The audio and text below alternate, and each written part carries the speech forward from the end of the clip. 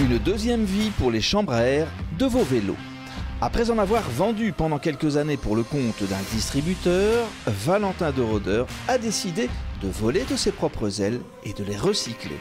On récupère les chambres à air qui viennent donc des magasins de vélos d'abord de la région, mais d'un peu plus loin. Je commence déjà à devoir aller plus loin pour m'approvisionner.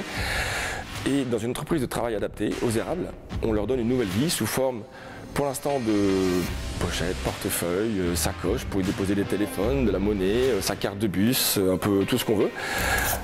J'ai commencé par des petits accessoires, mais on peut faire à peu près de tout, c'est-à-dire que les chambres sont récupérées, nettoyées, cousues les unes à côté des autres, ça forme des panneaux dans lesquels on vient découper des pièces qu'on travaille à l'image du cuir. Cette activité, Valentin ne l'a pas choisie par hasard, elle s'appuie sur les trois piliers de la transition à laquelle il est très sensible.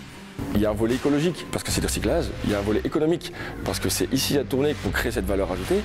Et il y a un côté social, puisque euh, le, travail euh, dans une entreprise de travail adapté a une vision euh, inclusive, c'est-à-dire qu'on essaie d'inclure un maximum de gens dans la société et dans le fait de pouvoir y participer et pouvoir travailler. Le prix de mes articles est un prix juste, c'est-à-dire que le consommateur ne paye pas quelque chose, c'est pas hors de prix, et en même temps, tout le monde dans la chaîne gagne sa vie. Dans le même ordre d'idée, Biclou met un point d'honneur à travailler avec des partenaires locaux.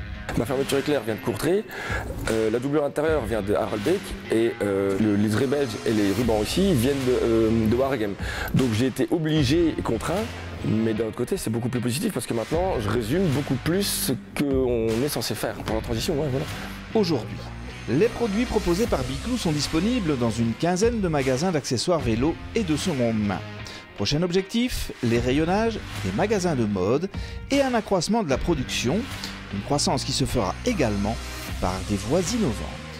Je vais au printemps, euh, fin février, mars, lancer une campagne de financement participatif à l'échelle nationale voire internationale pour là euh, faire des précommandes et générer euh, un coup de pouce en fait pour faire directement passer Biclou d'une entreprise régionale où je suis seul à quelque chose qui peut tout de suite être un peu, un peu plus gros et là on pourra du coup penser à éventuellement engager des gens pour venir m'aider.